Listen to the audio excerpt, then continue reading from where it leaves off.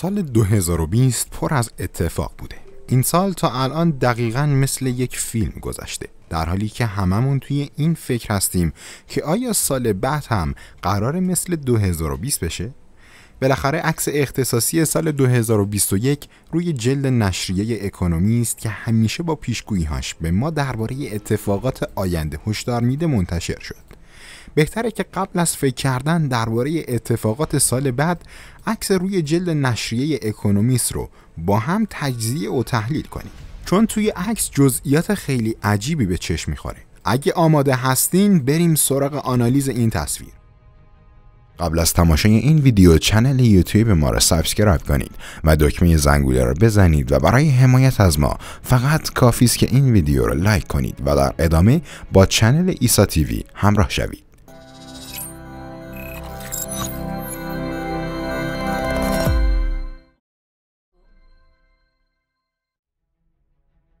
این هم تصویر روی جلد ویژه از سال 2021 نشریه اکونومیست که تا به امروز تصاویر روی جلدش توی پیشگویی اتفاقات آینده موفق عمل کرده.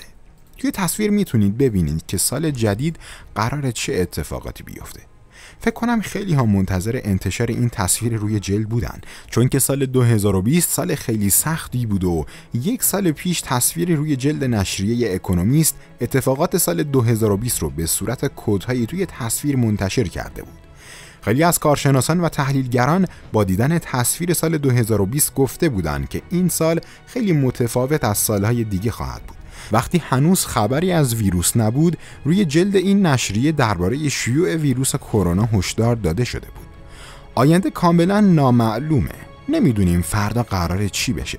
ولی چون نشریه اکونومیست نشریه مطرحیه و سالهاست پیشبینیهاش درباره اتفاقات دنیا درست از آب در میاد به همین خاطر آدم خواه یا ناخواه وسوسه میشه تا بدونه که امسال قرار چه چیزایی سرمون بیاد. قبل از شروع ویدیو با تمام وجودم معتقدم که پایان شب سیاه سپید است. به همین خاطر خیلی خوشبینانه منتظر سال 2021 هستم. حالا بیاین ببینیم که چه چیزایی قراره توی سال 2021 اتفاق بیفته و چه جوری می‌تونیم جلوی این اتفاقات رو بگیریم. توی تصویر عکس یک دستگاه قمار رو می‌بینیم. ظاهرا از دید نشریه اکونومیست آینده دنیا به بازی قمار تشبیه شده و وقتی که زمانش بشه یک عده‌ای کنترل دنیا رو توی دستانشون می‌گیرن و دسته دستگاه رو پایین می‌کشن و بعد هم دستگاه شروع به حرکت می‌کنه و روی هر عکسی متوقف بشه اون اتفاق میافته. روی بدنه دستگاه عکس خورشید طولو کرده دیده میشه.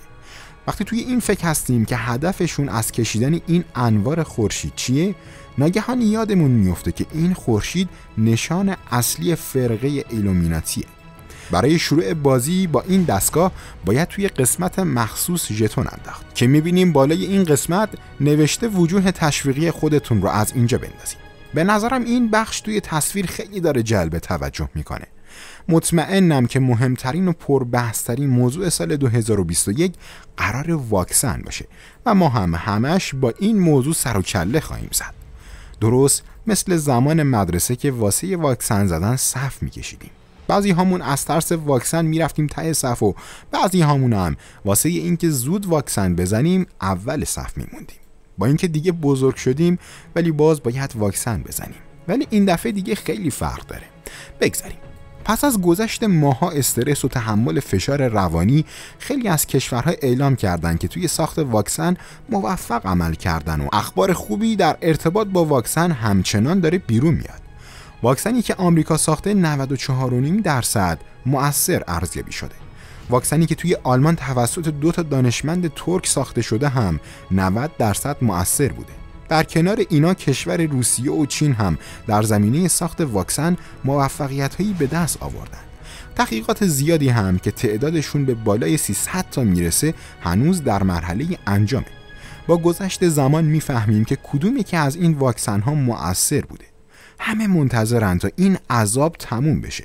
مردم چجوری قرار واکسن رو دریافت کنن؟ آیا این واکسن قرار دنیا رو از بدبختی نجات بده؟ یا اینکه قرار باعث یک فلاکت بزرگتری بشه؟ این سوال ها توی ذهن همه ماها وجود داره. ایرج حریرچی معاون کل وزارت بهداشت و درمان کشور ایران در پاسخ به این سوال که با وجود تحریم ها احتمالا ما در گرفتن واکسن هم دچار مشکل خواهیم شد تصریح کرد.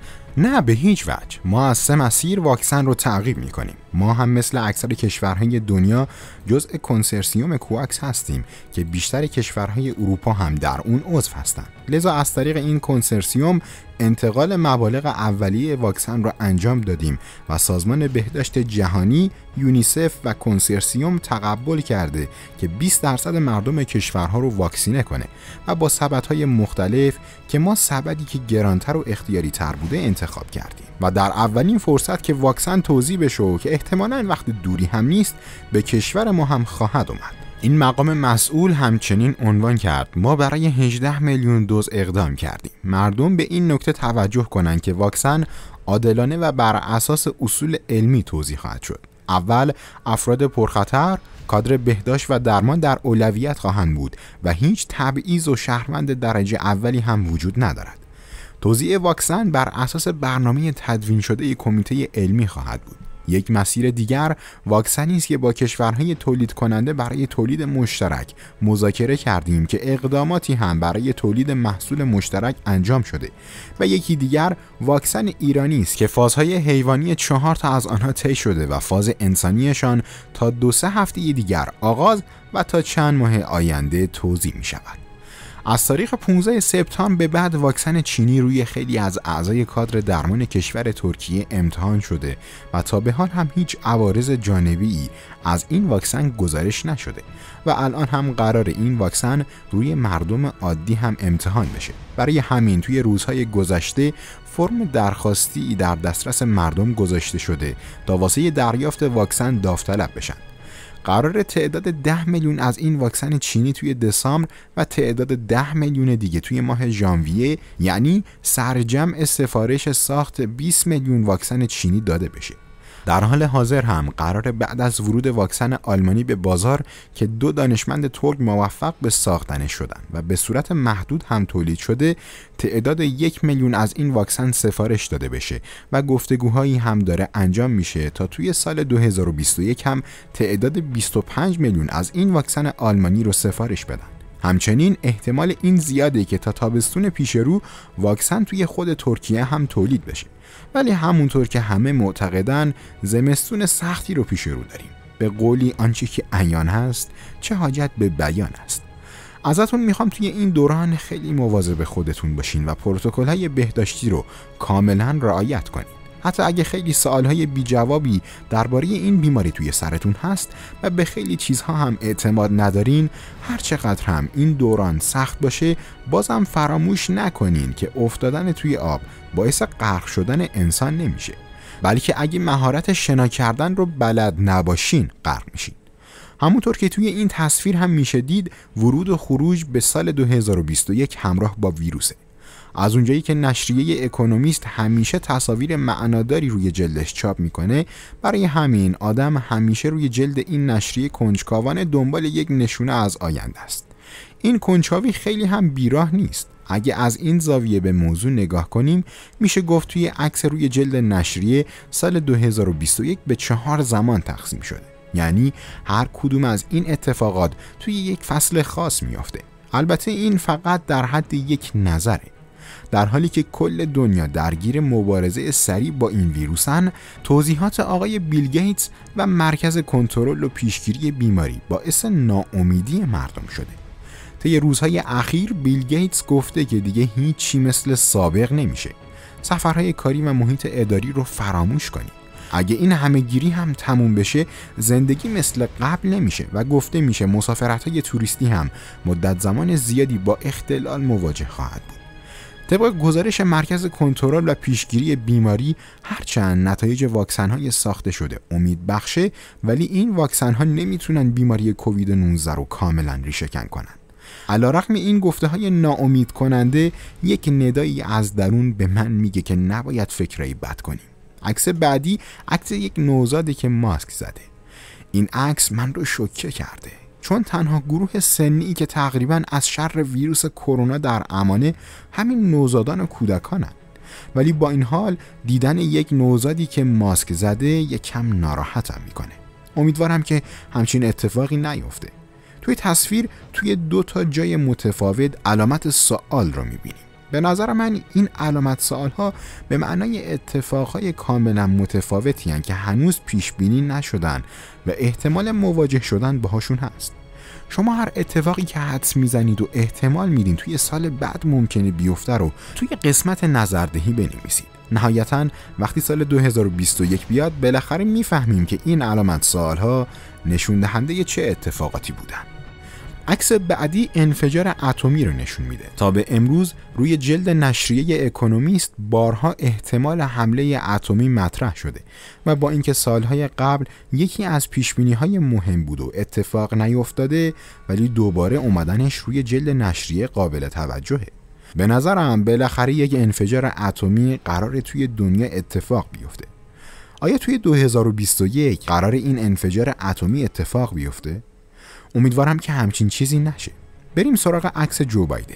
یکی از کسایی که سرتیتر خیلی از اخبار سال 2021 رو به خودش اختصاص داده رئیس جمهور جدید آمریکا یعنی آقای جو بایدن هست که اگه عکس بایدن رو با عکس زیری کنار همدیگه بگذاریم متوجه میشیم که سال پرماجرایی در انتظار کشور آمریکاست. خیلی از آدم های معروف معتقدند که روند متلاشی شدن آمریکا توی سال 2021 رقم می‌خوره. عکس پرچم آمریکا رو می‌بینیم که از وسط به دو نیم شده. پیروزی جو بایدن توی انتخابات ریاست جمهوری آمریکا و مقاومت دونالد ترامپ توی نپذیرفتن این پیروزی و به خیابون ریختن طرفداران این دو به نوعی به معنی شروع سقوط آمریکاست. منظور از سقوط آمریکا این نیست که کاملا از صحنه روزگار محو بشه. بلکه به این معنیه که سلطه آمریکا روی دنیا از بین خواهد رفت. عکس اپلیکیشن تیک تاک هم توی تصویر جلب توجه می‌کنه. این برنامه که گفته میشه برنامه امنی برای داده ها و اطلاعات نیست بین مردم هم خیلی محبوب شده و به قولی دیگه شورش هم در اومده. همونطور که می‌دونیم دانلود این برنامه توی هند و آمریکا ممنوعه. وقتی این برنامه رو نصب می‌کنین به برنامه اجازه هر کاری میدین. بدون اینکه بدونین این اجازه ها رو واسه چی میدین. بعد از نصب این برنامه گروهی از توی کشور چین می‌تونن با گوشی شما صدا ضبط کنن و تصویر بگیرن. به میکروفون و دوربین گوشی شما دسترسی پیدا می‌کنن. هر چیزی رو که بخوان روی گوشی شما بدون اجازه دانلود می‌کنن و به همه عکس ها و ویدیوهاتون هم دسترسی پیدا می‌کنن. قرار توی سال 2021 در رابطه با این برنامه چه اتفاقی بیفته؟ نگرانم. بریم سراغ عکس دلار. یکی از مهمترین پیش هایی که درباره دلار میشه اینه که دلار ارزش قالبش رو توی معاملات تجاری دنیا از دست میده و حتی گفته میشه که پول دیجیتال جایگزین پولهای رایج میشه. شاید این اتفاق توی سال 2021 نیفته و توی یک محدوده زمانی خاص پیش بیاد. ولی احتمال زیادی هست که توی سال 2021 ارزش دلار به خاطر واکسن های کرونا 20 درصد سقوط کنه. سیتی بانک که یکی از بزرگترین بانک های دنیاست تحلیلی در این باره انجام داده که میگه هر چقدر درصد مؤثر بودن واکسن ها بیشتر بشه و مقدار زیادی از این واکسن ها برای عموم مردم وارد بازار بشن ارزش دلار پایین تر میاد. با توجه به تخمین های سیتی بانک بانک مرکزی آمریکا هم برای جلوگیری از سقوط ارزش دلار نرخ بهره ها رو پایین آورده. عکس جلد نشریه اکونومیست هم به ما میگه که دلار یکی از موضوعات روز سال 2021 خواهد بود. عکس انرژی های بازگشت پذیر هم توی تصویر دیده میشه که با ورودشون به زندگی ما وابستگیمون به سوخت های فسیلی رو از بین بردن. اسم دیگه این انرژی ها انرژی های سبزه طی سی سال اخیر استفاده از این انرژی ها بیشتر شده و استفاده از نفت، زغال و گاز طبیعی هم کمتر شده و بجاش استفاده از انرژی های طبیعی مثل انرژی خورشید، باد و باران و گیاهان داره رایج میشه.